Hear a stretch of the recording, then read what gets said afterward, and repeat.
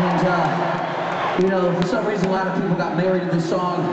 Most importantly, a lot of people got pregnant to this song. So, yeah, for about 25, 26, mommies and daddies are probably fucking after a Motley Crue show. You know that, right? right? Know what to do after the show. See we know this one.